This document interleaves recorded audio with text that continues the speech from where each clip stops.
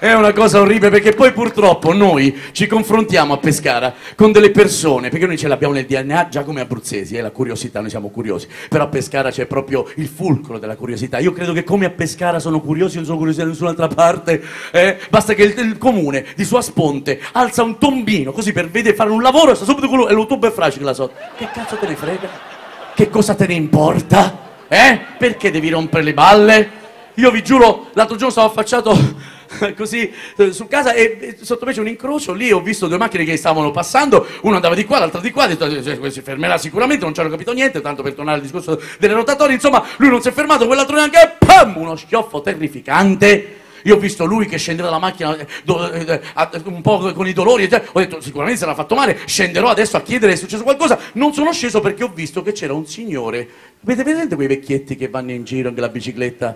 Però non a cavallo, se le portano così, a fianco della serie che cazzo li compra da fare? E così vanno in giro così. E, e, stava passando, ho detto, mo, eh, non, non, scendo io, il signore chiederà sicuramente cosa si è fatto. Lui si è avvicinato, lui dolorante col sangue alla faccia, stava camminando zoppicando, lui si è avvicinato e ha detto, maestro, mi c'è l'avvocato buona, eh, se non mi la nera, arrivederci. E se n'è andato. Ma sono cose veramente che non si credono. Eppure sono cose vere. Pescara, la città che veramente mi affascina, una città che tutte le cose nuove le devono mettere dietro a quelle vecchie. Ma perché? Ma mo l'hanno fatta la cosa nuova, è nuova, cazzo fammela vedere. No, arreta quelle vecchie. La stazione nuova, arreta quelle vecchie. Oh, per la miseria. L'aeroporto nuovo, arreta quelle vecchie. Eh? Eh? L'ospedale nuovo, arreta quelle vecchie. L'unica cosa buona che hanno fatto a Pescara ultimamente è il nuovo tribunale. Addo, arreto lo carcere. Preciso. Sì, mi immagino proprio i processi, capito? Lei è stato condannato a tre anni di reclusione, viene dentro il tubo, con l'acqua fanno. In galera come uno stronzo senza passare la via, capito? Così, ma stiamo scherzando, veramente noi abbiamo una qualità, eh? A Pescara fra quella vecchia e quella nuova di stazione si è creata un'area l'area di risulta, ti risulta, sta là, è vent'anni che sta là, che ci facciamo? Non ci facciamo, ci facciamo quello, non ci facciamo che stato, non ci facciamo che cazzo, non lo so, che ci facciamo? Una volta ci hanno fatto il concerto, hanno fatto un concerto, un artista internazionale che aveva il nome uguale al presente indicativo del verbo stare in abruzzese, Sting. è successa una confusione, pronto Giovanni, una notizia fantastica, cosa è successo? Sting alla stazione, mo ti rincappia. Ecco, eh, queste situazioni... Eh perché in Abruzzo bisogna stare attenti a pescare, a parlare, perché purtroppo quando uno parla eh, in pescarese devi stare attento. L'anno dopo hanno fatto la festa della marineria pescarese, Sant'Andrea, che hanno chiamato Mietta. Eh no. Eh, ci stava il manifesto Mietta lo porto, stava scritto. eh no, eh no. No, perché poi... Ah, boh, l'avete capito un po'? Dai. Voglio dire, cioè la sera, ve lo giuro, c'ero io, non c'era nessuno sotto al palco di Miete. Dove sta la gente? Tutto affacciato l'umore, che fa? Pare che siete anche doni curiosi. Mannaggia, perché bisogna stare attenti anche a parlare. Quando c'hai la gente a cena l'estate, non puoi permetterti di dire, oh, passami la troia, passami l'altro olio.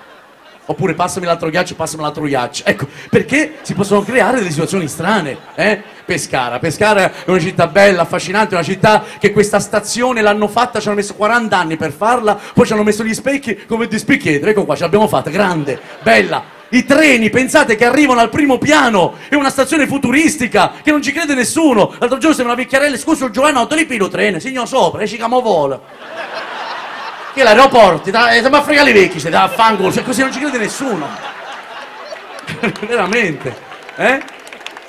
Che poi una volta, una volta che entri nella stazione è uguale a tutte le altre. La stazione, per esempio, di Pescara è uguale a tutte le altre. Ci sta la fontanella, la scritta Pescara, lo campanello, tutto uguale. Ma una stazione, per essere una stazione, deve avere l'anima. Quando arrivi a Bologna, anche se stai dormendo, ti svegli improvvisamente, Dio, dove sono? Sai di essere a Bologna perché? Perché la stazione ha un'anima. Mo in arrivo sul binario 7, il treno Lezzi-Milano. Musciozza cambia per Rovigo, Padova, Venezia. Il culo quando sei buono, ardemmo è bellissimo. Eh? Stazione di Pescara, bellissima, mica Denandon, che la vocca, manco lo campanello. Uè, sta arrivando il treno! Scusa maestro, dove prendi il treno per Giulianova? Sei disposto, la schiena, io gli sta arrivando, sposta. Perché molti non sanno che bisogna scendere e risalire dall'altra parte, fanno delle cose strane. Eh? Pescara, Pescara è una città stupenda, Pescara io guarda, mi meraviglia ogni volta di più. Eh? Adesso sta crescendo, è entrato in, a, a, far parte della nostra città una, una, un'architettura Mamma mia che architetture ragazzi! Lì dove cresceva, lì dove c'era il prato verde ora c'è una città. Lì dove ci stava la Camuzzi. Ma io sono nato in lo bandone quello grigio in le, le rete sopra. Perché io mo devo passare là e devo vedere questa costruzione in prospettiva che stanno facendo? Che poi dico una cosa, a me sta cosa, guardandola, che cosa mi accorgo. Ma ci potete mettere per esempio il tuo bombo di gas? Ecco, così fa... È uguale, capito? è uguale. Perché così uno ricorda che là c'è stata la Camuzzi. I nostri figli dei figli, come lo fanno a sapere che ci stava là? Così rimane questo ricordo. Come naturalmente una volta siamo andati a dormire, eravamo tranquilli, tutti quanti, eravamo speranzosi, di giorno a un certo momento ci siamo svegliati, qualcuno distratto non ci aveva fatto caso ed è piombata lì improvvisamente una struttura che ha fatto discutere chi la ama e chi la odia. Sta là da Natale di diversi anni fa.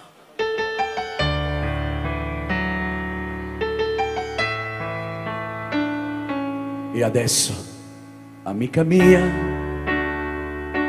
guardiamo giù dal molo con la malinconia rivolti verso il cielo. Lo so, mi dice acchieti, queste cose non le fanno. È stata una sorpresa quando l'ho vista a Capodanno. Che cosa? Sul ponte del mare. Io non posso andare amico mio ha cominciato a vomitare. Sembra che si muova, dondola leggermente. Dico come fa a camminarci quella gente. Ti prego lascia stare, lo so c'è molto pelo. Non dico le cazzate, ma lì sopra non ci salgo, sembra di cadere, chiedo aiuto, mi fa male pure l'intestino, stammi più vicino.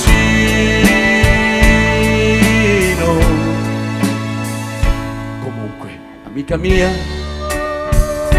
non pensi sia un vantaggio, dall'alto puoi vedere le barche di passaggio se passa una paranza, stendi una bella canna e peschi un po' di pesce e gratis poi se magna sul ponte del mare. Io non posso andare, amico mio ha cominciato a vomitare, sembra che si muova leggermente.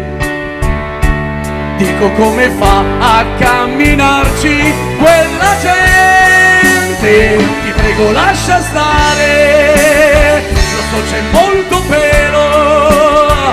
Non dico le cazzate,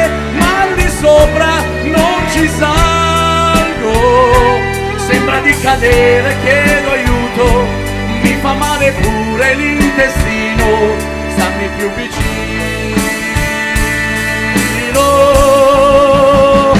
il ponte del mare.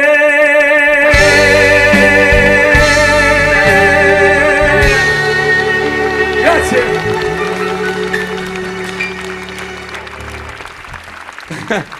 Sono queste un po' le novità che ci sono in giro dalle nostre parti, anche se poi naturalmente facciamo sempre i conti con le solite cose, il traffico, non si riesce a camminare di qua, di là, abbiamo problemi, purtroppo anche a livello insomma, nazionale stanno succedendo tante cose, il traffico è congestionato, Pescara pure, sì, non è da meno, eh, lo so, purtroppo noi siamo tanti, le macchine sono tantissime e quindi si creano anche degli ingorghi, non, non c'è, eh, lo so, quando capita un autovelox, non ci si aiuta tu l'uno con l'altro, è normale, vedi un autovelox, sta arrivando un altro, e fa quello grazie compagno, ho perso, capite? Eh, va bene.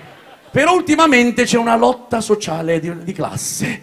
Io ho visto per esempio quelli che la Panda, che a quelli che la Mercedes, no no, la Mercedes, fatta piala molto, quella mamma.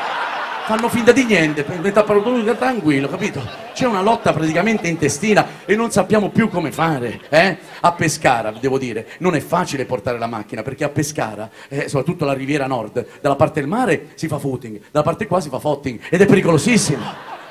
Perché ci sono questi qua che tu non sai davanti che ci sta un maniaco che va trovando, capito, la, la, la femminuccia, capito? Che appena ne vede una, oddio quanto è buono che fa l'inversione a U e pum, certi schioffi, eh? Allora dovrebbero segnalare dietro come fanno quelli che non sanno portare la macchina. Io non so portare la macchina, sto facendo scuola guida, dietro sta il cartello scuola guida. Attenzione, prendetevi un po' di spazio. Oppure sono un principiante, un privatista, dietro sta scritto P, principiante, privatista, foglio rosa. Dovrebbero fare un'altra targa, P, puttanire, perché sono pericolosissimi. E se non se ne accorge va a schiuffare. E ho voluto fare una canzone brasiliana, guarda caso, che fa più o meno così, vai. Yeah!